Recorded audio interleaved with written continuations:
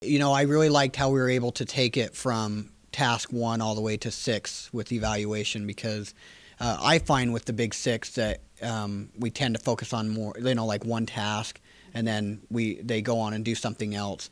I, I love the idea of being able to to to do a task and then perhaps do another one later on in the year, but where you're trying to see help the kids and teachers see the whole process. Whether you do it all at once in several weeks or throughout the year, I like the model and the, the availability of seeing how the whole process occurs. One of the non negotiables that I just introduced to my department was that there has to be a research project every quarter. That's scary to teachers who can only define research in one mode, and that is nine weeks at a time, um, beginning to end, from note cards to you know all the grueling one inch margins you name it all the way to the end. Um, and so we needed this time to redefine what can research look like? How can it be fragmented yet still not isolated so that kids can't apply it elsewhere? And certainly not isolated so that they can't make it into a comprehensive research unit but hopefully enough so that um, they can continually have experience with the different aspects whether it be big six big you know any any other research model but simply repeated um, repeated use, experience, manipulation of research throughout so that when it does come time for a big project, whether that's the first time in UNLV, hopefully it's not, but in even the classroom at Clark County or in Green Valley High School, that it's not overwhelming, burdensome, and um, where kids don't sit back apathetically because they just don't know how to approach it. Sherwin and I are going to try our hardest to really go cross curricular. Um, often the burden is put on ELA teachers um, and it's not that we have to pull that away. Absolutely, it should be. We're we're the best versed in writing, um, so it should be on our shoulders. However, if if I if if what I've already spoken about, the idea that we have to give them repeated um, uh, opportunities to use these strategies, if that's the case, it has to happen more than that one period throughout the day. And if that English teacher doesn't get to it that day, they shouldn't go the rest of the day without it. Um, he and I, Sherwin and I, were talking about how what this might look like in a math class, um, which is certainly outside of the scope of what research usually takes. Um, and I said, well, what if they have to uh, prove a theory, um, a mathematical theory, and have to explain why and defend through cited information?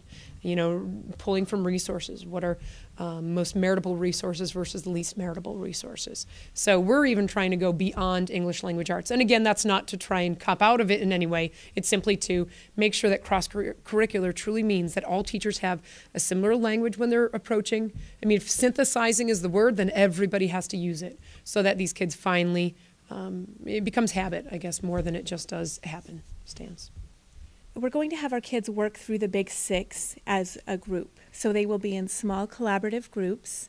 Um, we are going to have them build their own kind of digital collection or exhibition. Um, based on some aspect of um, American culture or history or even in conjunction with literature. And I've done this in the past with World Lit Honors using global literacy.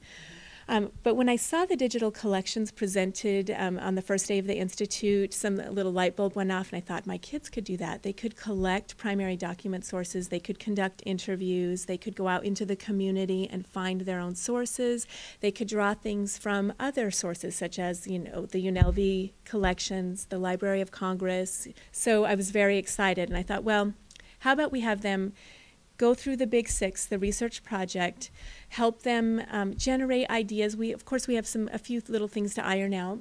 Generate some sort of thematic um, idea for their collection, and then go out and find these sources. They would come up with two or three essential questions on their own, and they're used to this because we're a project-based learning school, so they know what essential questions are. But usually, those are generated by the teacher, and so we want the kids to generate their own essential questions that will drive their research. Um, so then we'll work through each step, and um, that's why I think this was especially beneficial because Mr. Mitchell, the librarian at West, and I were able to sit down and talk about each part and what we would do together to facilitate. And um, so we will have them build their own collection which will eventually, and then they will present it. And ideally, and I've already run this by a couple of people, I would like the university librarians to come out and serve as our panel of judges. Because when we do project based learning, we usually bring in outside experts in that field.